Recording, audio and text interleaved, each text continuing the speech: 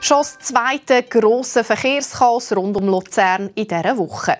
Das wegen einem schweren Verkehrsunfall gestern Abend auf der A2. Ein 75-Jähriger ist mit seinem Auto frontal in die Wand von einer Pannennische gefahren. Dabei hat sich der Mann lebensgefährlich verletzt. Wegen dem Unfall und der Aufraumarbeiten ist der Kille-Waldtunnel über zwei Stunden gesperrt. Das hat zu einem riesigen Verkehrschaos rund um Luzern geführt.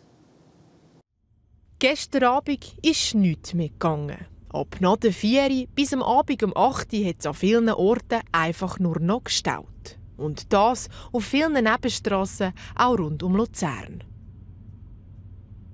Der Lorenz Mummentaler von der Kantonspolizei Nidwalden erklärt, warum das Auswirkungen hat auf die ganze Zentralschweiz. Also das Mal ist es ja nicht, wie es normal war, Richtung Norden passiert, sondern Richtung Süden. Und das hat natürlich in die Agglomeration Luzern zurückgesteuert. Und die erste Massnahme, die wir gemacht haben, war, dass wir jetzt Hergiswil abgeleitet haben unter Mithilfe der Luzerner Polizei und mit einem Verkehrsdienst im Dorf Hergiswil durch die Feuerwehr den Verkehr, das Fluss aufrechterhalten dass der Verkehr gerade in solchen Situationen abgeleitet wird über Hergiswil, das stört viele Leute, die im Dorf wohnen. Wir haben im Sommer schon äh, immer Stau und Stau und Stau gehabt. Man kann nicht schnell ins Dorf etwas einkaufen. Man kommt nicht mehr heim. Auch mit dem Bus. Ähm, ich bin mit dem Mattbus unterwegs, weil man ja Bahn jetzt auch nicht hat. Auch das, da hat ja auch Verspätung. Also man muss jetzt Fuß laufen. Wegen einer Bahnbaustelle fährt der Zug zwischen Nidwalden und Luzern momentan nicht. Es fahren Ersatzbus im Normalverkehr. Man kann so aber gar nicht auf eine schnellere ÖV-Route ausweichen, weil auch der Ersatzbus im Stau steht. Auch der Gemeindepräsident von Hergiswil, der Remo Zberg, ist genervt ab der momentanen Situation. Ja, das ist natürlich höchst unangenehm, das ist klar. Es sind aber auch zwei Ausnahmesituationen, wo man ein gewisses Verständnis haben muss, dass das natürlich dann zu Rückstau führt. Aber für die Dorfbevölkerung, aber auch für die, die im Stau sind, ist das sicher äh, nicht angenehm. Jetzt ginge aber etwas. Auf Initiative von Hergiswil und Stanzstadt haben wir eine Taskforce gegründet.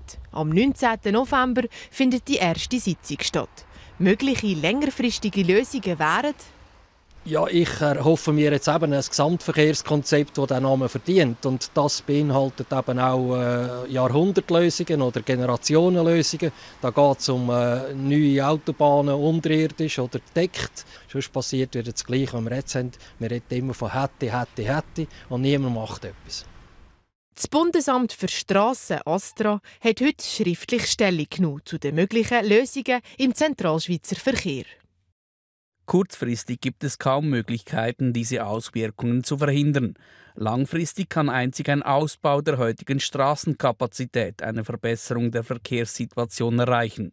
Mit dem Projekt Bypass Luzern werden zusätzliche Kapazitäten geschaffen, damit der Verkehr auch in den Spitzenstunden flüssig unterwegs ist. Ideen für Lösungen wären um. Aber bis die umgesetzt werden, brauchen die Autofahrer noch bisschen Geduld.